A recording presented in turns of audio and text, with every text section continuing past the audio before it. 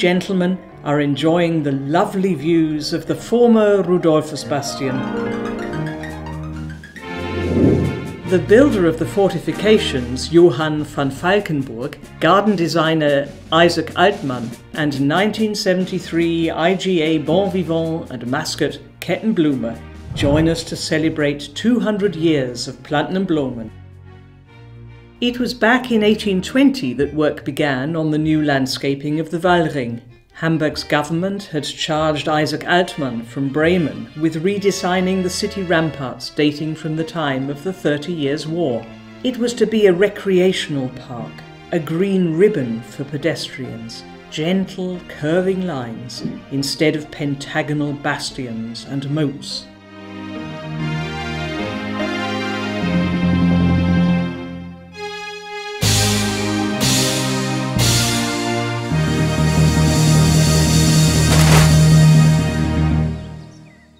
The Hamburg ramparts were laid out between 1616 and 1625 to plans by the Dutch master builder of defences, Johann van Valckenburgh. It was an effective and expensive defensive wall against the ravages of the Thirty Years' War and against attacks by the Danes. The three are sitting on the former Rudolphus bastion, one of 22 bastions around the Wallring, all named after Hamburg aldermen. They can get an idea of the perspective the guards would have had at the time. An uninterrupted view of the Mediterranean terraces from 1963, its dark slate slabs making it one of the sunniest and warmest spots in Hamburg, together with the glasshouse. Here's the manager of the park, Eva Henze. Das Gewächshaus ist äh, The glasshouse was built for the Botanical Institute at the time of the 1963 IGA. The 19th century glasshouses in the old ramparts area, in the old botanic gardens, were designed in the style seen at major botanical gardens like Kew Gardens. They were destroyed in the Second World War. The architect, Bernhard Hermkes, followed the contours of the ramparts with this roof landscape the so-called Kontrascarp, a counterpart to the bastion which rose very steeply, giving an uninterrupted view of the enemy, and so enabling them to be fought as excruciatingly as possible. What's special is that the skeleton of the glasshouse isn't internal. Instead, the building's suspended from exterior steel girders. It gives a perfect illusion of the tropics, the desert, without any columns or pillars interrupting the view. in die Stadt einfallen wollten, damit die sich eben sozusagen präsentieren mussten und dann musste, konnte man sie leichter abschießen. So muss man es einfach sagen.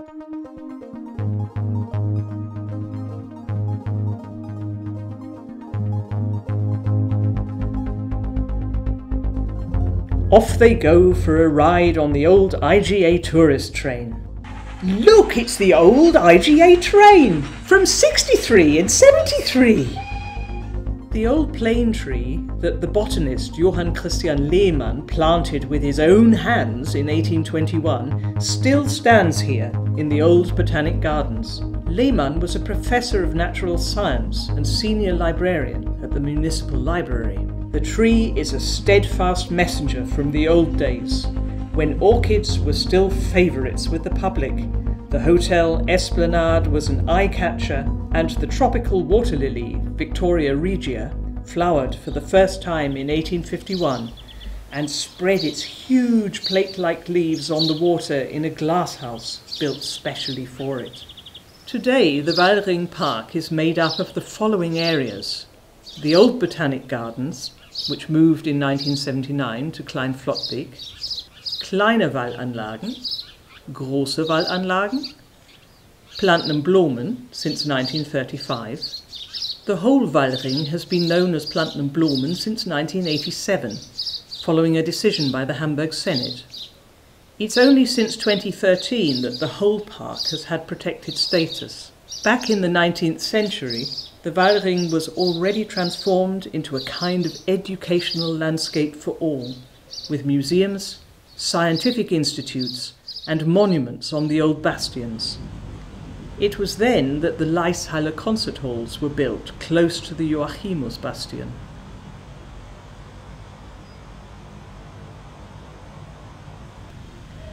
Come on, Jan, we've got to go! How about a tea ceremony? That's been an option since 1990 in the Japanese garden, the largest of its kind in Europe.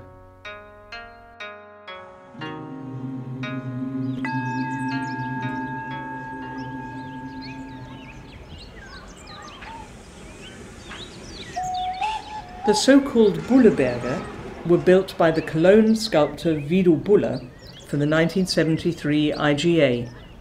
They remain a popular statement reacting to the shortage of playgrounds. Planten un Blomen has undergone many transformations, yet, despite a lot of conversion work, there are still some old traces to be discovered. Late 18th century cemeteries outside Dammtor closed in 1879.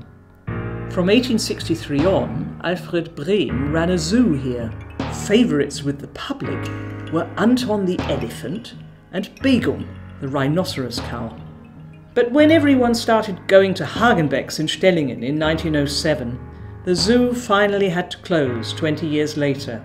No amount of bird displays, whale exhibitions, or hospitality were enough to keep it going. At the time of the 1953 IGA, the glass Philips Tower stood here. Planten un Blomen was created during the Nazi era. In 1935, the Low German Garden Show was opened on the site of the zoo. In just a few months, the Reich Labour Service had to complete the demolition work and lay out new gardens from scratch. Local history, like the Lower Saxony Country Inn by the lake, and cosmopolitan Rio de Janeiro flair in the Orchid Cafe, complete with the impressive Victoria Regia in a heated pool. But during the Second World War, the exhibition Defence and Victory also took place here with military equipment.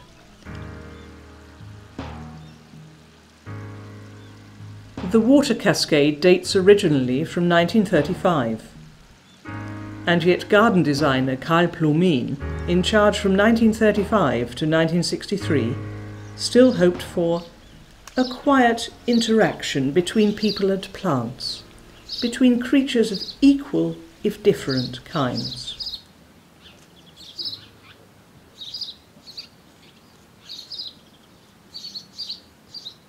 The water fountains first worked their magic in the 1930s. They were extended in 1953, renovated and enlarged in 1973, and are the main attraction to this day. From the 1st of May to the 30th of September, 99 jets spray water to musical accompaniment and lit by more than 600 coloured spotlights. And every evening, two Son et Lumière artists give a performance.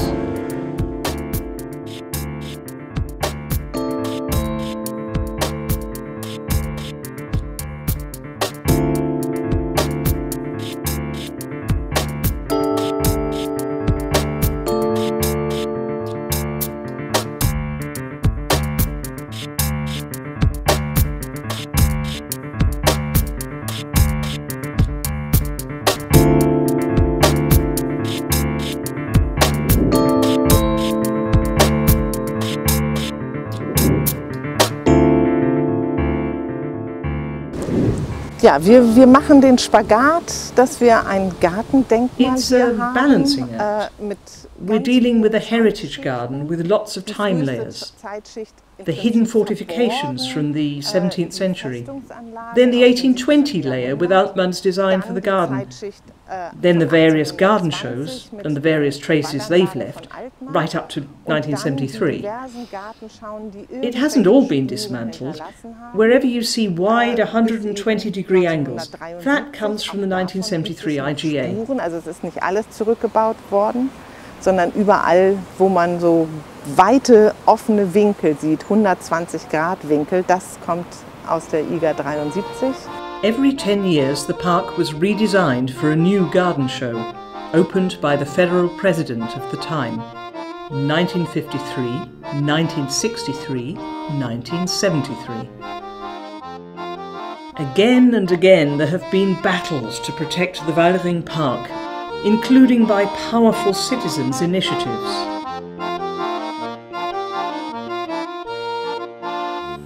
That's enough mudlarking.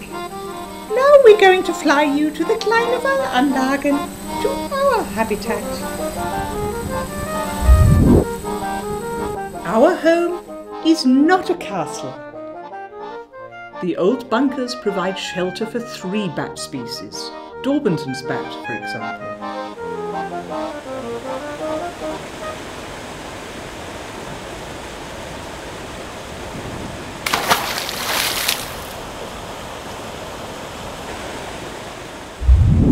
Der Quellgrund der IGA 63, der äh, im Übergang The wellhead from the 1963 IGA at the transition from the old Botanic Gardens to the Wallanlagen.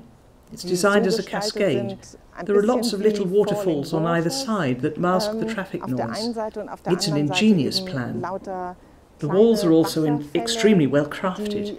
You rarely get to see that today. Geräusch den Verkehrslärm übertönen. Und das finde ich ist eine geniale Planung. Und die Mauern, die da gebaut wurden, sind so gut ausgeführt, ähm, das gibt es eben auch nur noch selten zu sehen. Even though the Wallring now seems lovely and tranquil, it was created and shaped by war and tyranny. And so the courts and what is today the remand prison are located close to the former Ulricus Bastion. Hundreds were executed in this building during the Nazi period. Since 1973, there's been a roller skating and ice rink near the Eberhardus Bastion. And today, the skateboarders also practice here assiduously.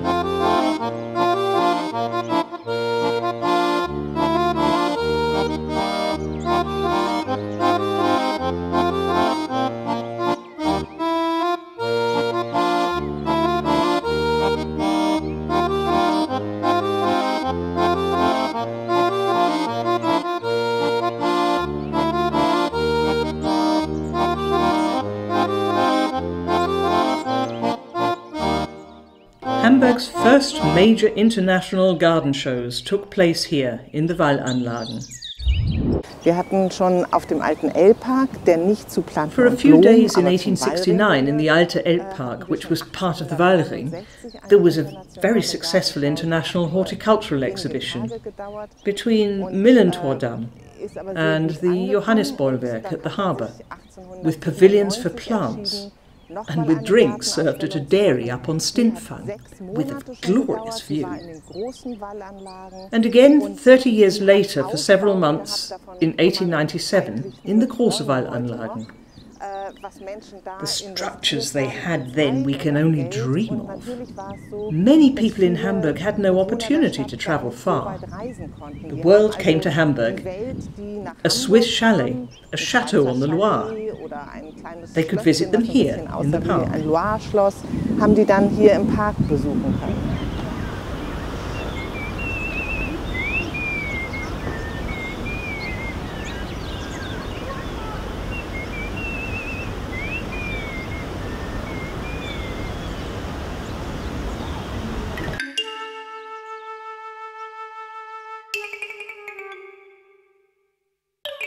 By the way, the Museum for Hamburg History stands on the site of the Henricus Bastion.